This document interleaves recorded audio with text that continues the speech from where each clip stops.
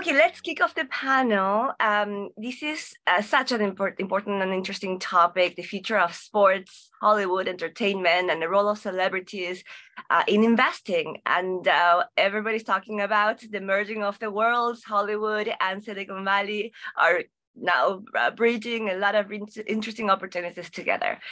So today, uh, we want to talk about uh, the perspectives from uh, team owners, from people who have created platforms and communities, and also the role of diversity and inclusion in the world of sports and entertainment.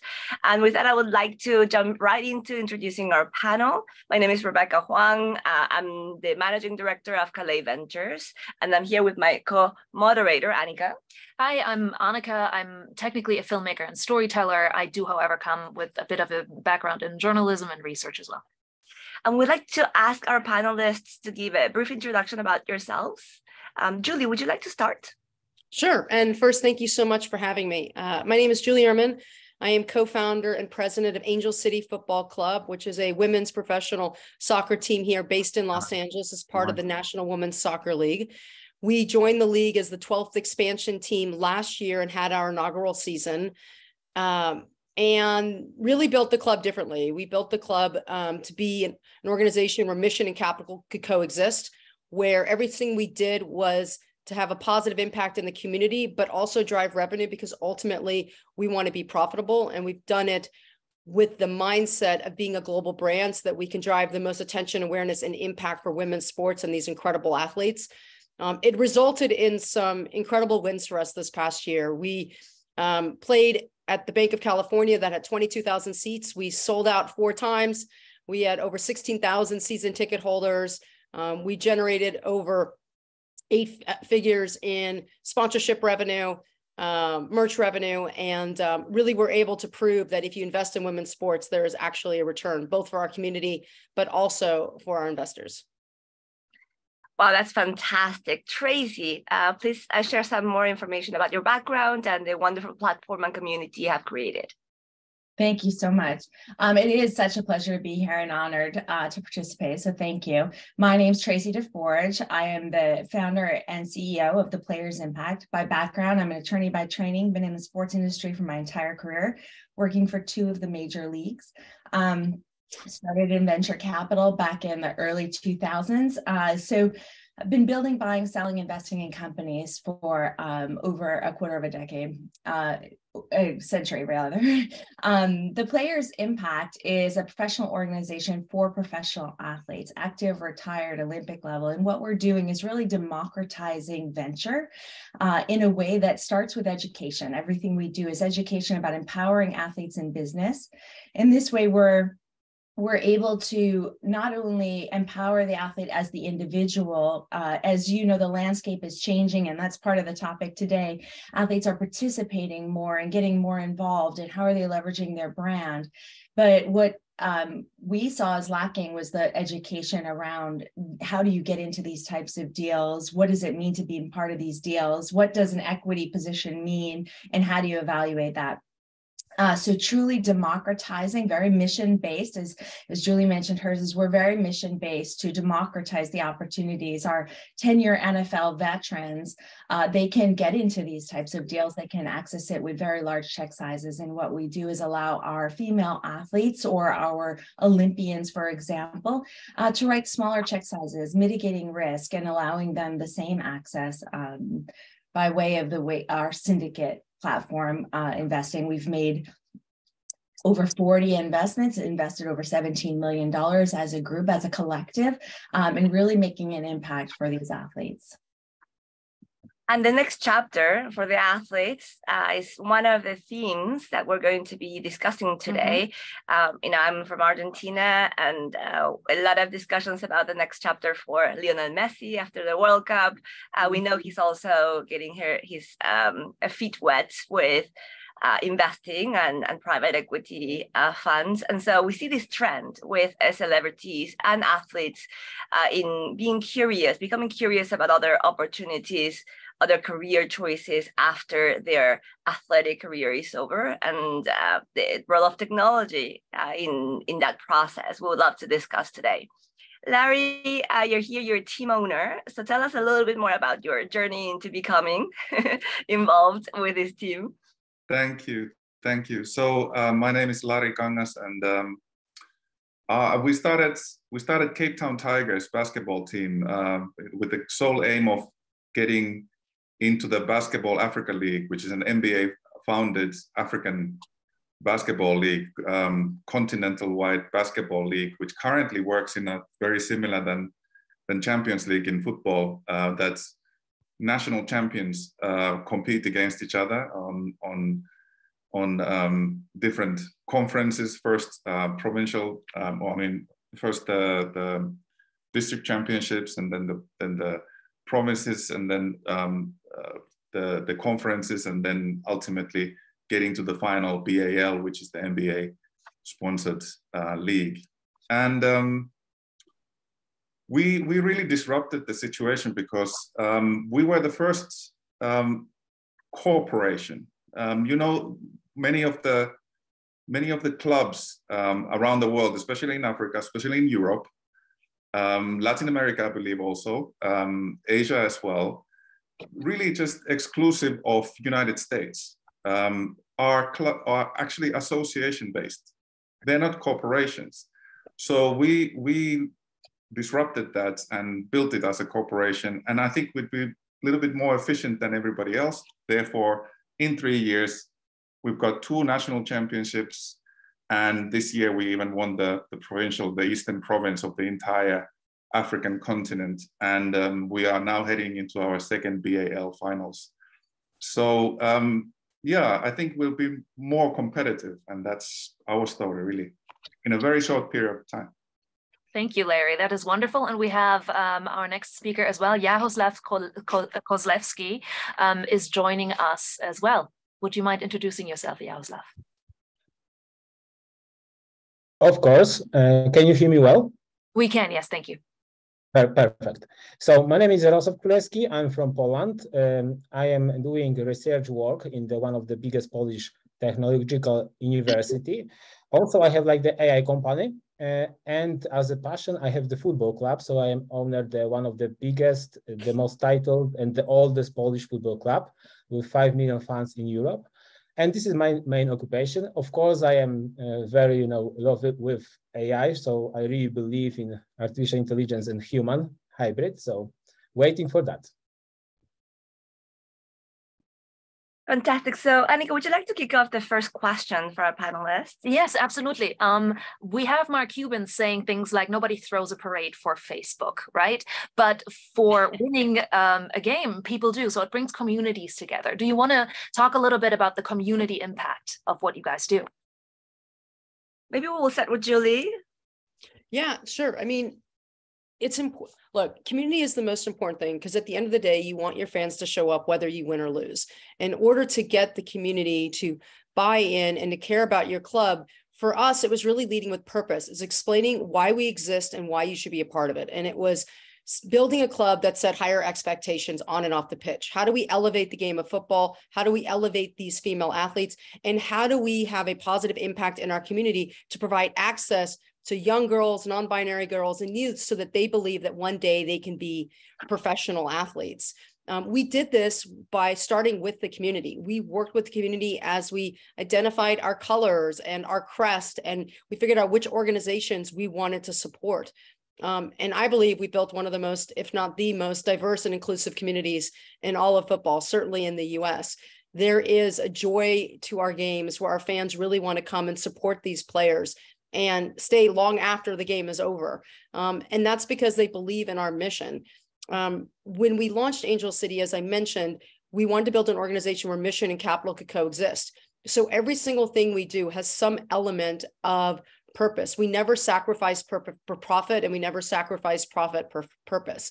One great example of that is we launched the Angel City sponsorship model, where 10% of all of our sponsorship dollars goes back into the community through our social impact platform of equity essentials in education. So for 2022, our inaugural season, over a million dollars went back into the community. We supported over 27 organizations and really tried to lean in to make our community in Los Angeles a better place. And we're going to be building upon that this year. But it's those initiatives and it's really understanding what our community needs and how to show up with them which creates that bond so they will show up for parades if we win the match but more than anything will show up you know 6 hours before a game starts to celebrate with their their friends and family and then go into the match and make one of the best experiences in women's football in the US occur yeah, it's incredible. And when um, Argentina won the World Cup, five million people went, were in the streets, and the parade was absolutely incredible. And the power of that community, the power of that inspiration in sport is really unparalleled. Uh, but Tracy, you know, talking about community, there's also another community, which is the community of the athletes themselves. Uh, when they are in the team, uh, there's this camaraderie, and then they, they retire, and the miss there is a gap, there's a hole uh, on, on, that community uh, and fraternity. And so let me ask about uh, the, community that uh, your organization is creating for the athletes uh, once they're thinking about the, the next chapter. Yeah, thank you. I, it, it is all about community, as Julie said. We started with the idea that you're right that locker room environment that the athletes were missing once they were off the field or off the off the ice etc um, and really what we saw is that there was a lot of identity crisis for our athletes as they weren't sure what the next step was for them because they spent so many hours and so many years focused on their craft and becoming great at their game that they really weren't sure what was next for them. They didn't have the time necessarily to focus on that second half.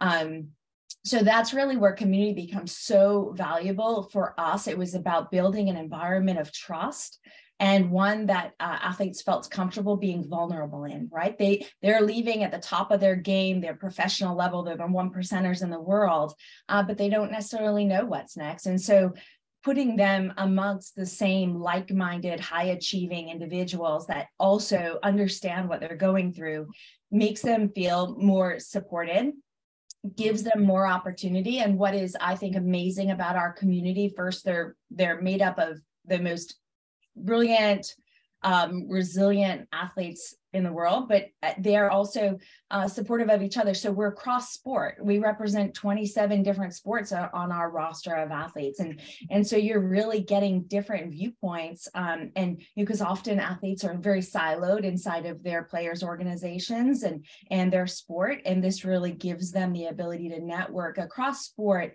Um, but we also bring a layer of thought leaders and subject matter experts to their benefit. So community is everything for us across sports and also across genders, right? Because usually we we have this uh, separation between genders and sports. And what I love about what you do, Tracy, is that now we have uh, this very diverse and inclusive uh, environment for all of them to learn and uh, be able to educate themselves on investment opportunities.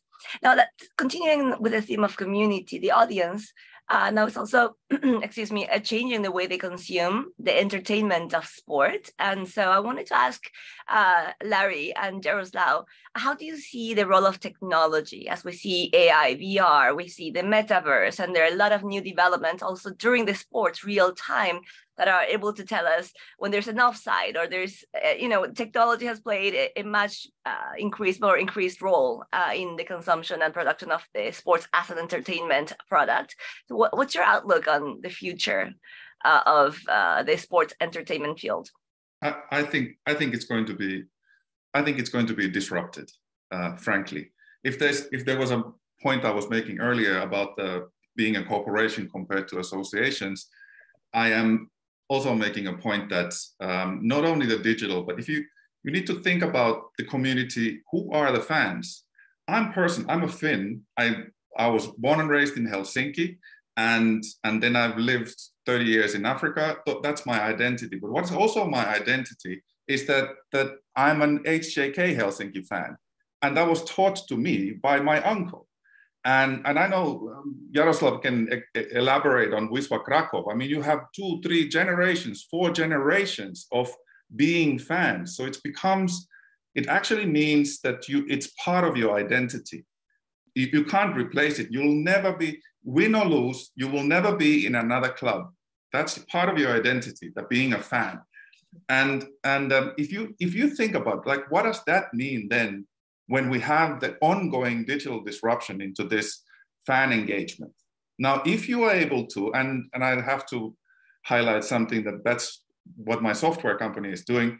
If you are able to capture those feelings into the game itself hmm. 24 7 not 24 7 but during the stream during when you are with the players and with the team if you're able to capture that you are talking about a new industry new new industry of of business because endorsements are fundamentally there because they want to be part of the of the of that being a fan of Man United, Wisła Krakow, or or Borussia Dortmund or Cape Town Tigers. The sponsors come to us, give us money because they want to be associated with that, that fan feeling, that feeling of identity.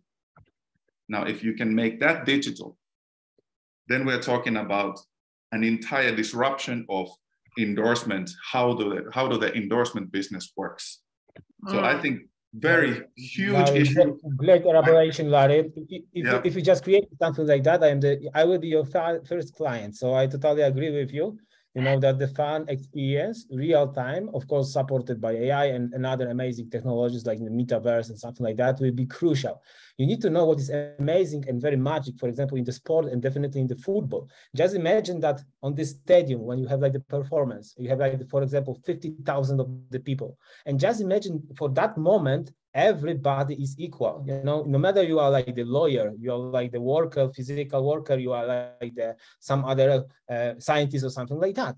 On the two hours you are like the, in the completely different world where everybody is equal with quite authentic emotions. And this is very hard you know to find anything which is authentic uh, uh, not homogeneous right now in the world and there you have like the real emotions. I'm not talking about the commercial things like the you know buying experience moment experience you know that we are buying because of the emotions or you are taking the credit because of the emotions for another match.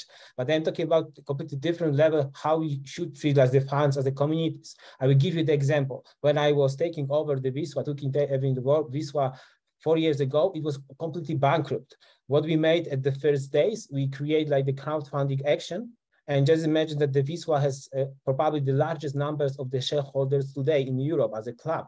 We have almost 20,000 people who are like the shareholders of the club, and they bought the shares of the club with a high valuation in one day, in 24 hours. You know, 20,000 people, like the businessmen, journalists, uh, you know, normal, like the average guys and something like that. And they are like the providing what is amazing to the private company uh, they own money because they are fun, like the Larry mentioned. This is something which is quite, you know, about the generation, about the future, about some behavior, some, you know, I think that the being in the group is is making you much more stronger, much more equal. So, for example, where we run a new strategy of the Wisła. we created like the uh, uh, team for the girls, for the women, for the people who has like the problems with uh, physical, uh, you know, uh, um, uh, some, you know, diseases and something like that. So we have a lot of different other places because the sport is so authentic right now that through the sport, you can address a lot of different segments of the people, like the, as I mentioned, lawyers, different segments, and you are capturing these people and the feelings in the moment of losing and winning, so you can just impacting the emotions in the end of the day. Thank you, Yaroslav. We really appreciate um, all of your answers. And luckily, finally, our last speaker for today has joined, Royce Clayton. You, um, we would love to hear an introduction from you as well, but you are a professional athlete. Once you've introduced yourself, I'd love to direct the next question directly to you. Talk to us about becoming your own CEO, your own brand after sport. I'm sorry for my tardiness. Had a little trouble getting on this morning. Um, Royce Clayton, 17 years, Major League Baseball uh, played for 11 different teams over that uh, time span, was an all-star World Series champion.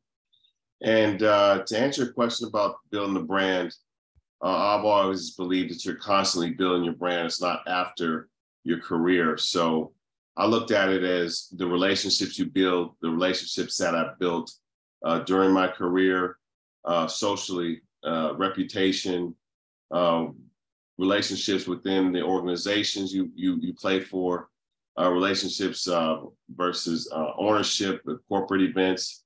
Uh, all these things are, are, building your brand in the community. Uh, so there's so many different facets that come with it. But uh, I always say you're constantly building your brand, you're building your reputation, as your career progresses. And it's important that these young people understand that. So it's not the last the last game that you play, you say, okay, now it's time for me to start to get ready uh, to uh, prepare myself for off the field, for getting my career straight uh, after retirement, uh, and then start building your brand. Uh, like I said, you're constantly doing that. And I think young people need to understand that. And Royce, you know, your brand is part of your personal business model. And uh, we talked about the role of uh, technology and its uh, disruptive effect potentially in the consumption of entertainment and sports.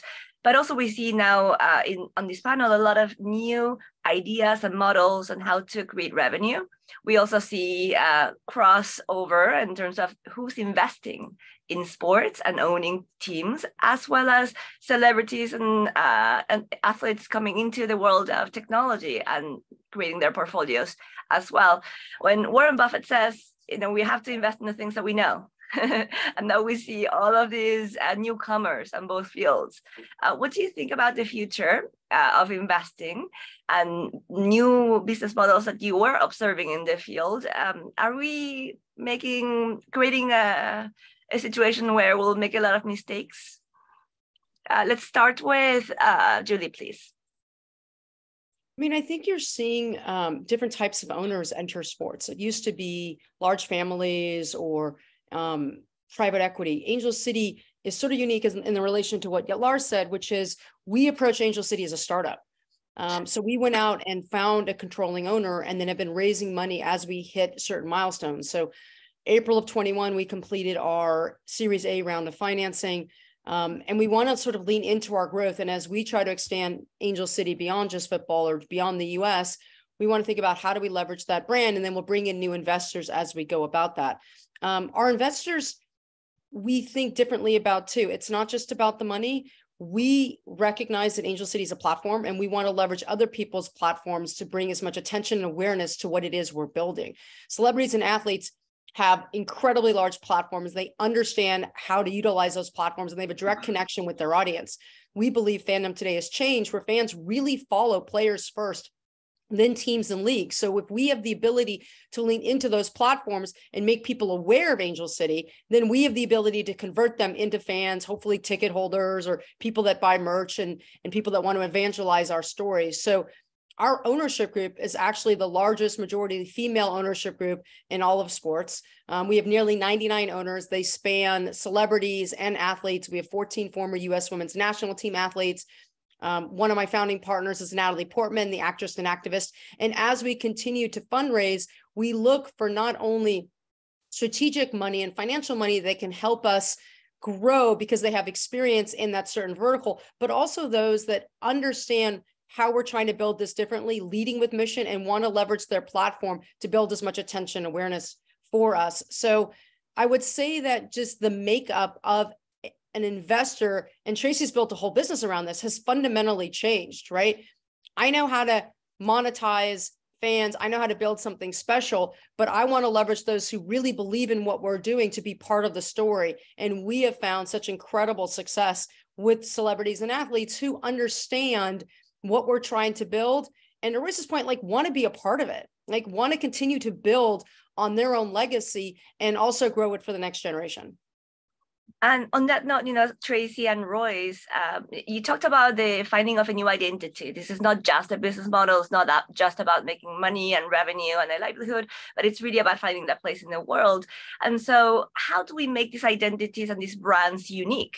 Now, when more people are getting into these uh, new opportunities, um, how do you differentiate yourself as a good investor, as a good um, uh, brand that that is very much uh, you and and not like you know the hundreds of others that you're educating to be also in the field. So maybe uh, Tracy, you can start with an answer, and Royce, I would love to hear your perspective uh, with your personal story too.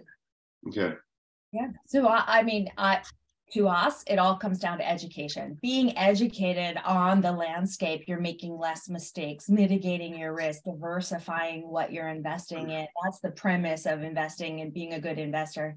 I think when it comes to the athletes, what they need to know about when they're using and leveraging their brand is they can't do too much. They can't overextend themselves because then they look like a NASCAR, right? Like uh, with all of the logos on them, and then the authenticity is lost, right? So what I think that um, our community does really well is is invest around their passions. What are they interested in? How do they do it? There's there's a, a reason to invest for a great return on your investment. And there's always those great investments that you want to put your money into. But what we're talking about here is leveraging who you are and your communities, your smaller communities, micro influencers, if you will, to make a difference and make an impact. And being authentic about that is really the only way I think that it works.